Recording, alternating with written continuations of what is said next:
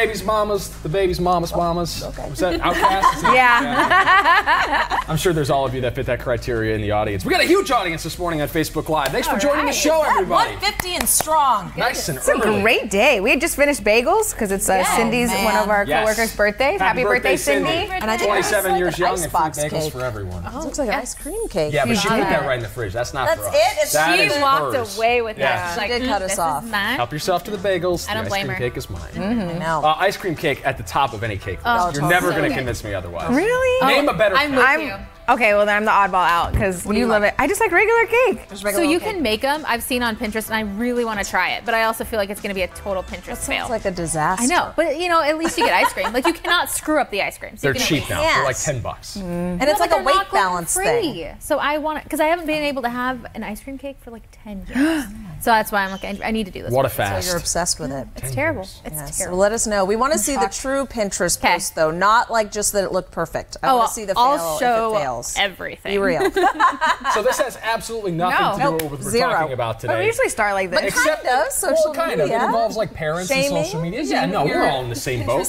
We're news people. We can I'm do cracking. segues like this. Uh, so here's what we are talking Okay. about. Um, online, there's this post trending on Facebook right now that a mother posted that shames her daughter a little bit. We're going to pull it up for you in just a second. You're going to have a hard time reading what the post says, so I'll try to paraphrase it for you. More or less, mom went out school shopping for her mm-hmm. daughter, and she went to three different places trying to find this pencil box that her daughter wanted. Mm-hmm. There it is. You see it there in the upper right. Now she gets the box can. for her. She takes it home. Little girl says, I don't want it because everyone has it. So mom chucks it in the trash and says, Listen up, whippersnapper. you're going to get a Ziploc bag for your pencil holder and you're going to like it. So mom gives her that instead. Kid throws a temper tantrum. Mom decides to share this online. And that's where the question comes in. When is it okay to publicly shame your kids?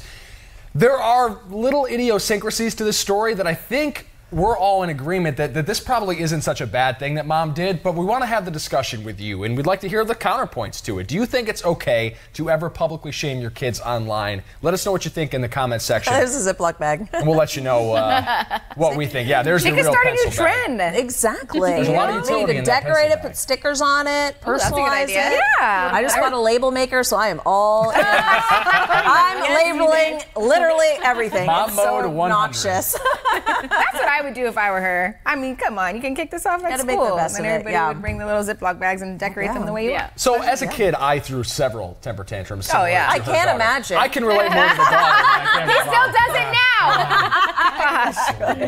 Here and there. I, I remember one time a memory that stands out to me. I think it was like my fifth or sixth birthday party.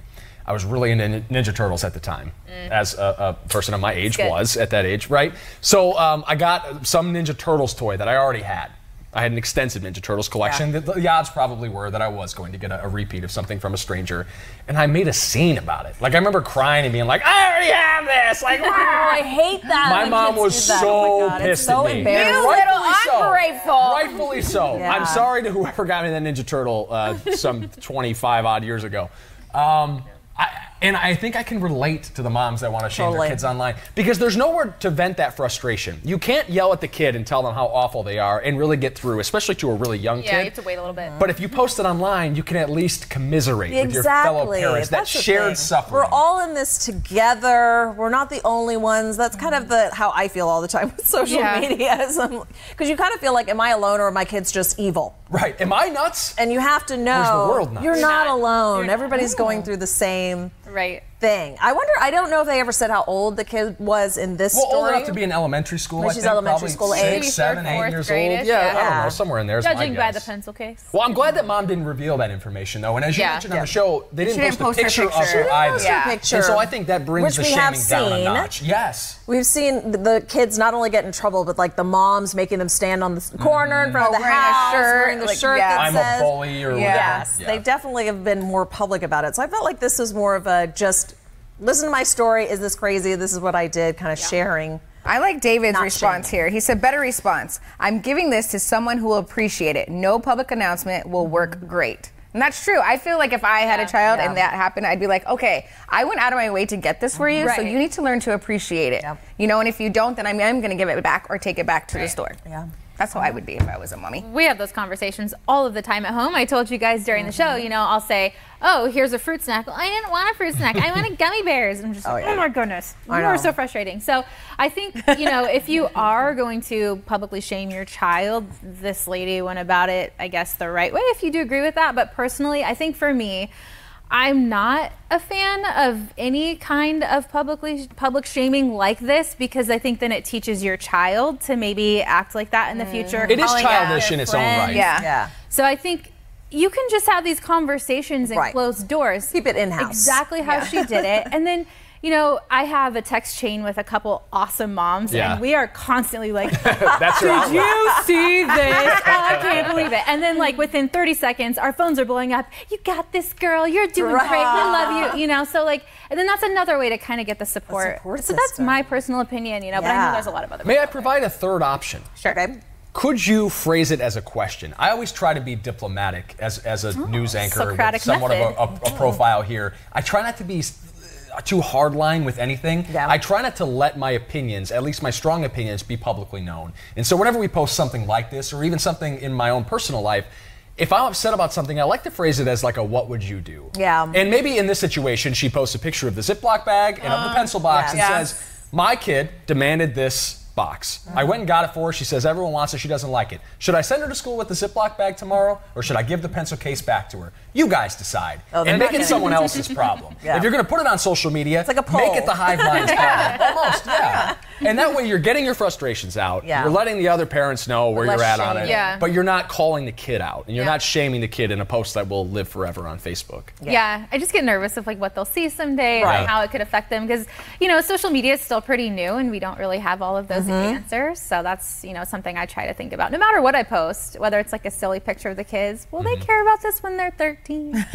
Right. The little bath pictures, they might. yes. I know. I always try can't to do those be anymore. careful So about Jim it. Says you must teach your kids that actions cause consequences, so her actions are justified. Also, it does not matter what others think, so it should not affect the child. That's kind of what Richard says too. He's one of the top fans in the comment section. Appreciate you, Richard, for stopping by the show as often as you do. He says, "Nah, this is a private thing. Your kid will not respect you." And I think that's a good point because the kid may not even understand what respect is at that age, mm-hmm. but it is it is a learned behavior. And so mm-hmm. i- if you're doing childish things, it's Yeah. it's like parenting Right. 101, right? Don't scream back at them. That's not how you resolve conflict. Right. That's being a child mm-hmm. in, in much the same fashion that you're upset with in the first place. Yes. You can talk stern to them though. Yes. Yeah. Oh, yeah. So I am the I'm a, I'm The two god- parents over here doling out parenting No, advice, I right? know. I'm a godmother, so I have, you know, and Yeah. my, all my best friends and my cousins that, you know, I'm the godparent of their kids. They're like, oh, we're gonna send them to Nina because Nina's strict. Like, you yeah. know, Nina puts the law down and not mean, but I'm just stern with what I say,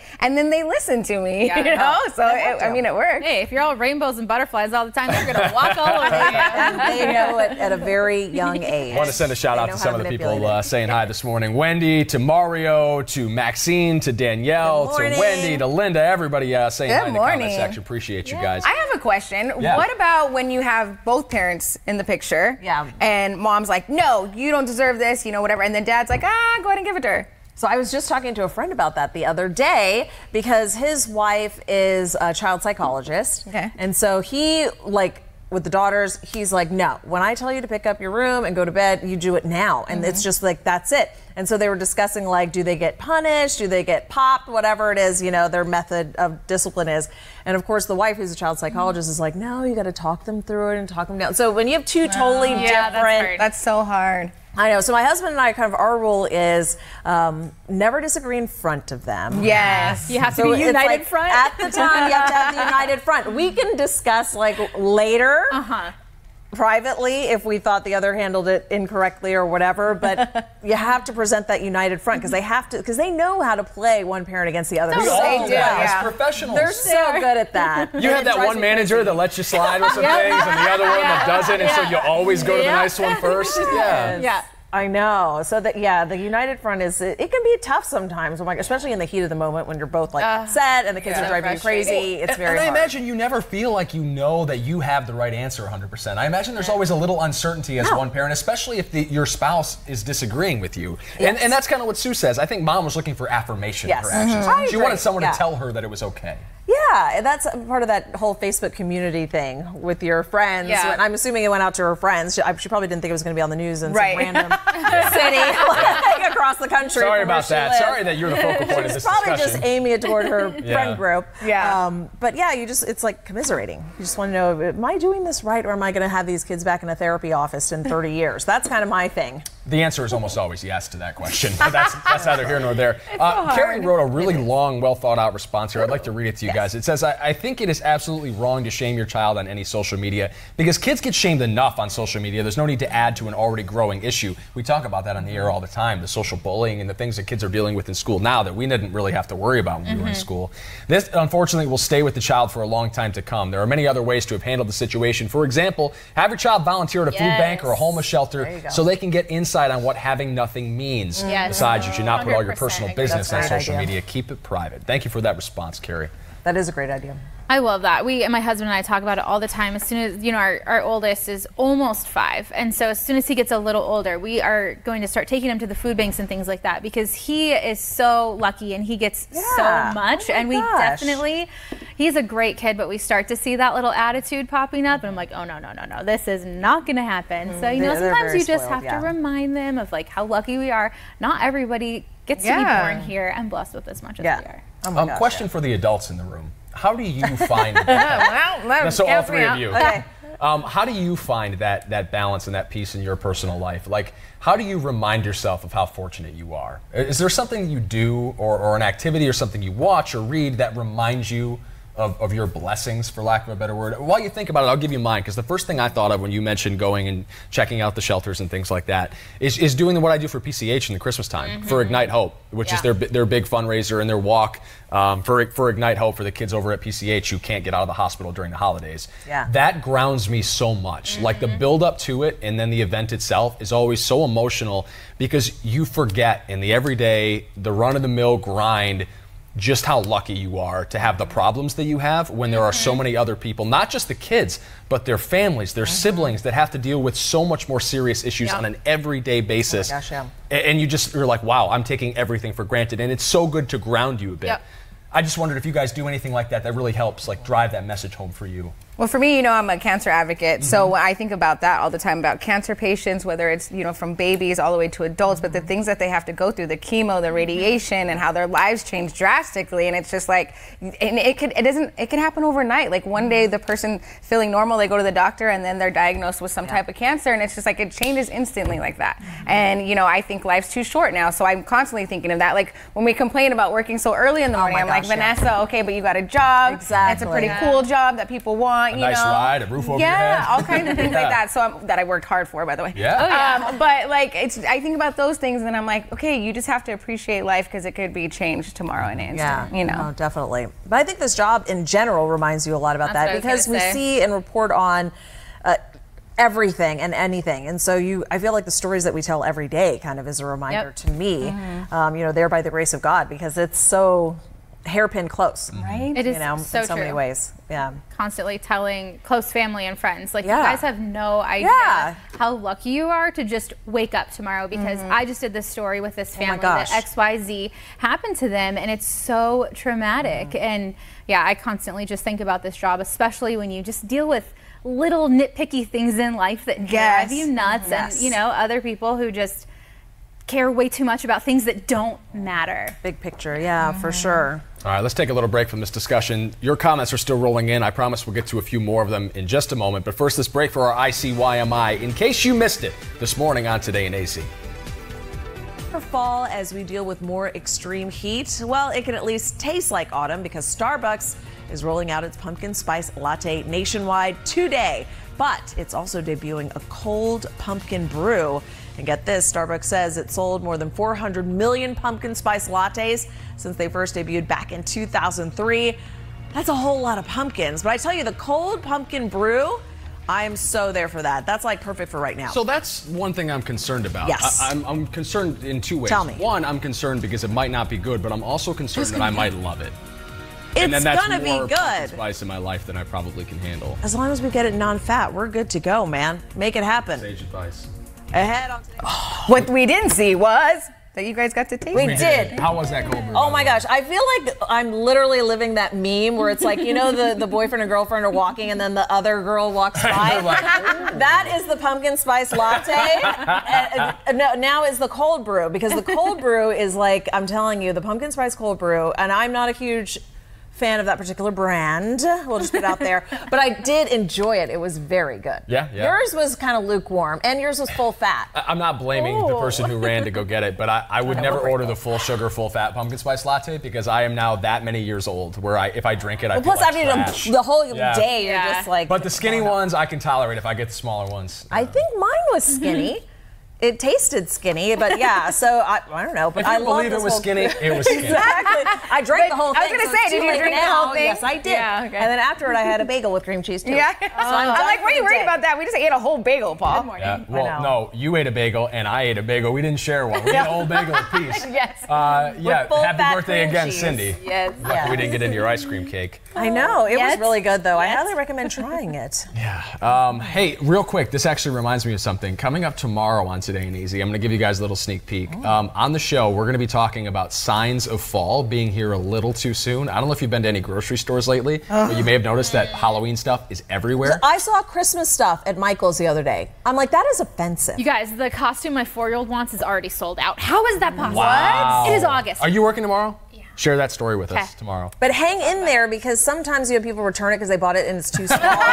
Because I'm always that The shopper, person. Rachel. Because I'm like, who does the sizing charts on these costumes? They're They're, so ridiculous. so yeah, you wait for it. Somebody will like either put it up on I hope so. eBay or return it. Yeah, hang in there. So we're going to be soliciting your feedback on this, and I also went into the Cardinals locker room to ask Cardinals Oh, players what they thought about it. So we'll have a montage of their responses That's about. Halloween I stuff love being out Halloween. a little too early tomorrow on today. Halloween's one of my favorites, but Um, it's too early for Christmas. James said he's got his Starbucks pumpkin spice cold brew in the fridge right now. There you go, James. There's no shame. James, leaning tell into the me if it's not good. it's very good because you know it's not sweet. The cold brew makes it a little bitter.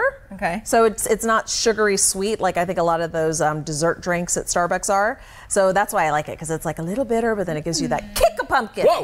Yeah, you got the kick already. Well, I had a second coffee today. I never do like, that. So yeah. yeah, I'm like I should have had that at 5 a.m. If the kids are watching, run. you guys have a morning shimmy, wakes you right up.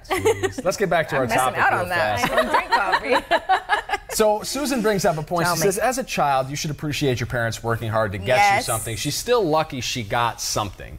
And if, if I look back at my childhood, that birthday included, the thing that I regret the most about the way I treated my parents was that I was ungrateful for the things that I didn't realize then were such big sacrifices for them. Mm-hmm. Yeah. Like whether it's monetarily to get me some dumb thing that I was really into that didn't matter at all and that I played with for two minutes and mm-hmm. tossed aside, or whether it was like investing in me in other ways, like whether it's their time or their resources and like taking me to little league games, you know, two days a week for 10 mm-hmm. years. Like I, I was not appreciative enough of that because I didn't know what being an adult was like as a kid. And I think that's really tough for kids to rationalize what it's like to have the freedom of being an adult, mm-hmm. but also the responsibilities of being an adult and taking care of your snivelly little ass.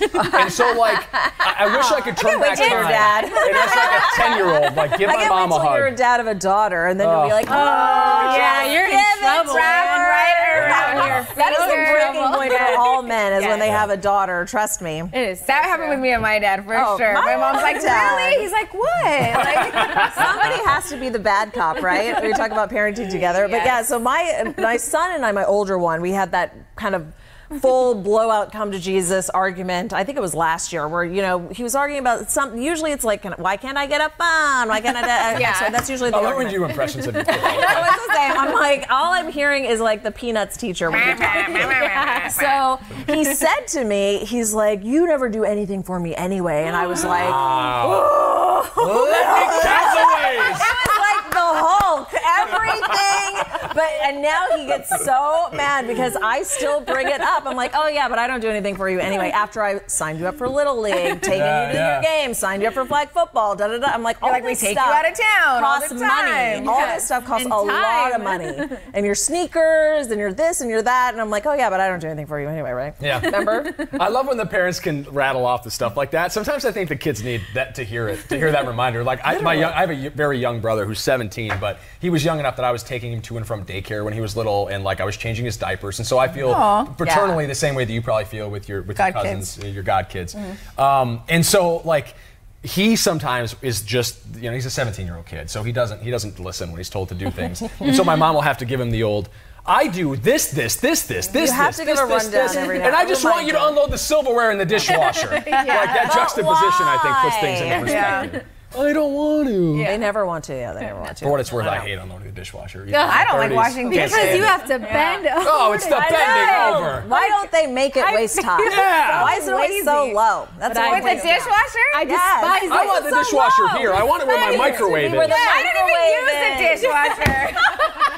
I wash them by hand still. Oh my Smart girl. gosh. That's Yeah. good. I guess that's good. Granted, it's only me, so I don't have a ton of dishes. I, I dirty dishes all the time. So many. When And I'm you put them in the dishwasher? Yeah, but then I have to unload it. Mm. I, there's one takeaway from the show today. to the Maytag people out there. invent a Dishwasher countertop up here. high Yes, please.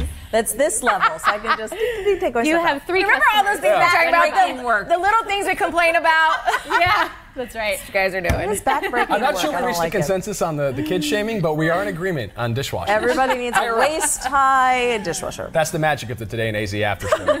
Time to get going, guys. We'll see you tomorrow, same time, same place, 7.30 on the AM, right here on the 12 News Facebook Yes. page. A shout out to our viewers this morning. Yeah. We had over 100 concurrent Woo! viewers the That's entirety of the great. show. Thank you, I think that's the first time that's ever happened. Ooh. Appreciate you Really? guys Okay. very much. Thank you for spending your morning with us.